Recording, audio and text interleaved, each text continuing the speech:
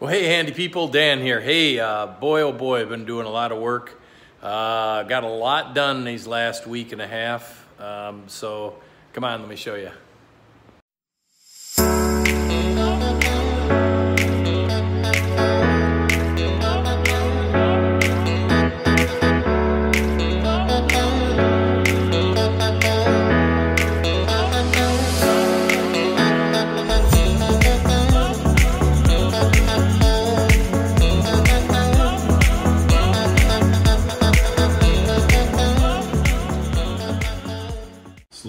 Surely. Got the front suspension all completed. Back in, obviously subframes in.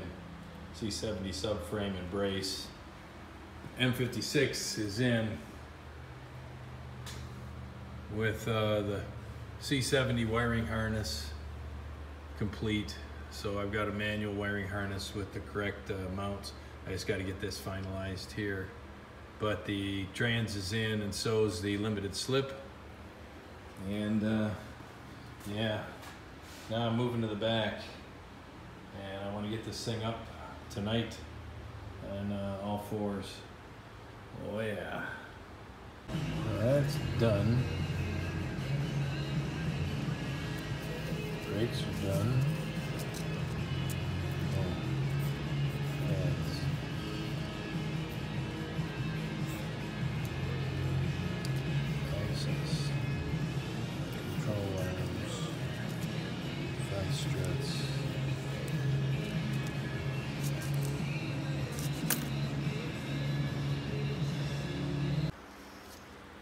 Well, Lazarus is uh, up in the air. And uh, I did the reclining seat option. Actually, I these are all unbolted and un, unplugged and they're ready to go. I'm going to uh, get some help here in a few minutes. Got Jason coming by, so we'll pull these out of here. Um, then I can pull the rear carpet, which will allow me to get the rear, uh, get the um, parking brake cables out of there. Once I do that, I'm all pretty well. I drained the fuel tank earlier today. Uh, jumpered, uh, jumpered the wires in there. You can see them through the glass. Um, pretty easy to do, folks. The uh, well, I can't flip the seat forward because the other seat's in the way, but I'll show you that how I how I went about that. And uh, yeah, getting excited about getting this this little devil off here. Well, Jason came by and boy oh boy, we uh, we did a lot of work, and uh, he had the expertise because he's pulled his, one of these all-wheel drive carriages out before, and he had fabricated a jig which worked perfectly with two by fours that uh, we used, and now we've got it sitting on on a couple dollies so it's movable. This thing is amazing. Wow. Wow. So that's a great step. We're, we're moving forward with great speed and accuracy.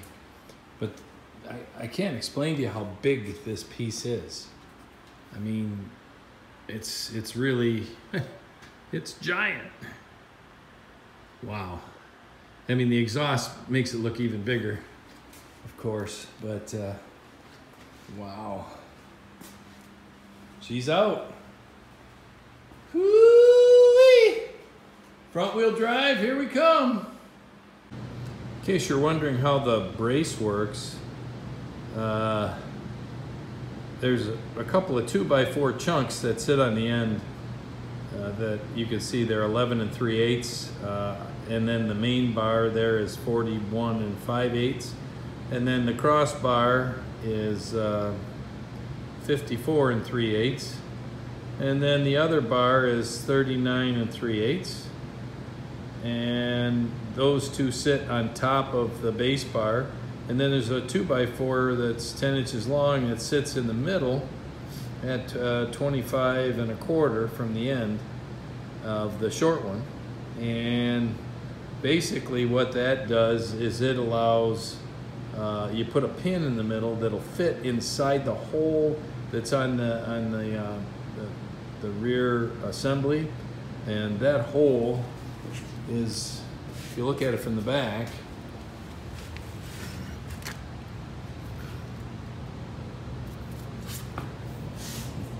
is right up there, that hole.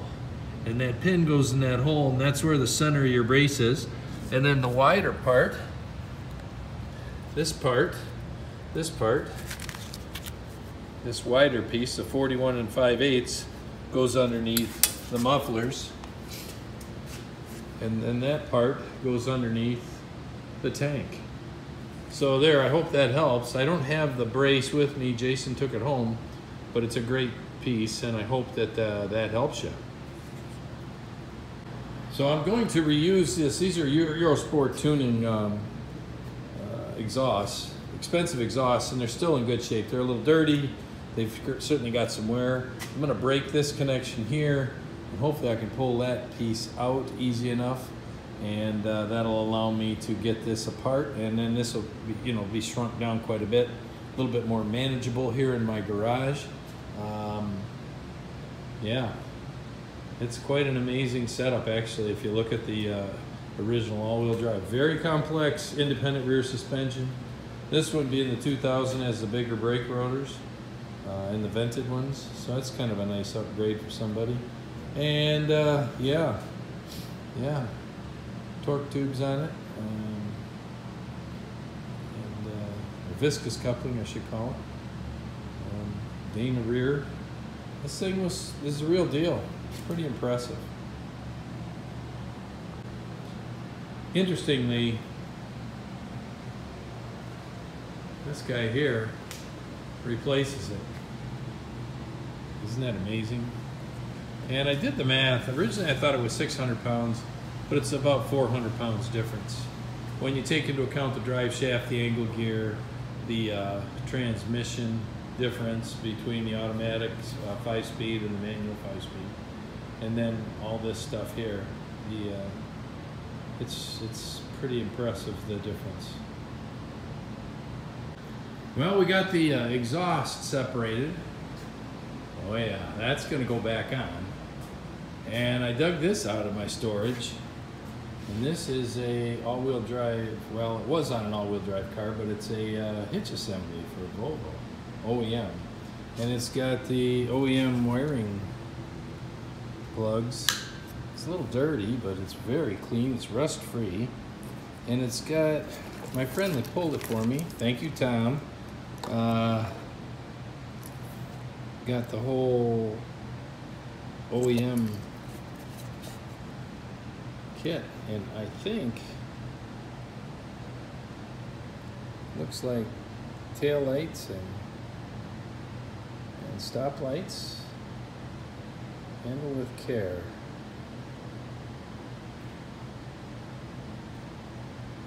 So there's all the wires that plug to it.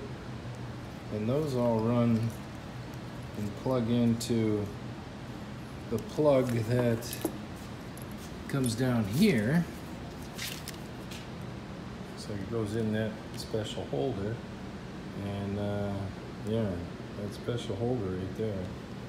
And we all know what that is. That's a, one of the ventilators or whatever for the trunk area.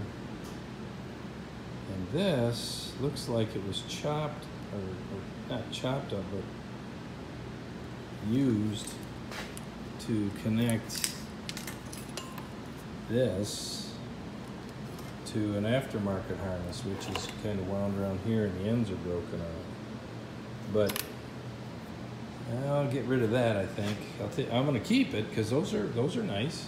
They work. But I want OEM, and I have an adapter plug for a flat floor for my trailer. So, yeah, yeah, pretty excited. So I think first in is this guy.